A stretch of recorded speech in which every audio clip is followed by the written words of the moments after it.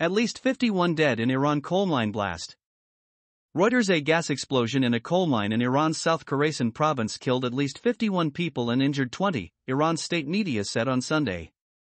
The accident was caused by a methane gas explosion in two blocks, B and C, of the mine run by the Madanju Company, state media said. 76% of the country's coal is provided from this region and around 8 to 10 big companies are working in the region including Madanju Company, the governor of South Khorasan province Ali Akbar Rahimi told state TV on Sunday, the rescue operation in Block B has been completed. Of the 47 workers who were in the block 30 died and 17 were injured, Rahimi said earlier. Rescue operations in Block C have started. Methane density in the block is high and the operation will take around 3 to 4 hours, he added. There were 69 workers in the blocks at the time of the explosion, state TV reported. 17 injured people were transported to the hospital and 24 people are still missing, it said earlier on Sunday, citing the head of Iran's Red Crescent.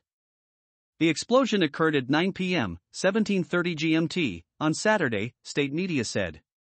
President Masoud Pezeshkian expressed condolences to the victims' families. I spoke with ministers and we will do our best to follow up, Pezeshkian said in televised comments.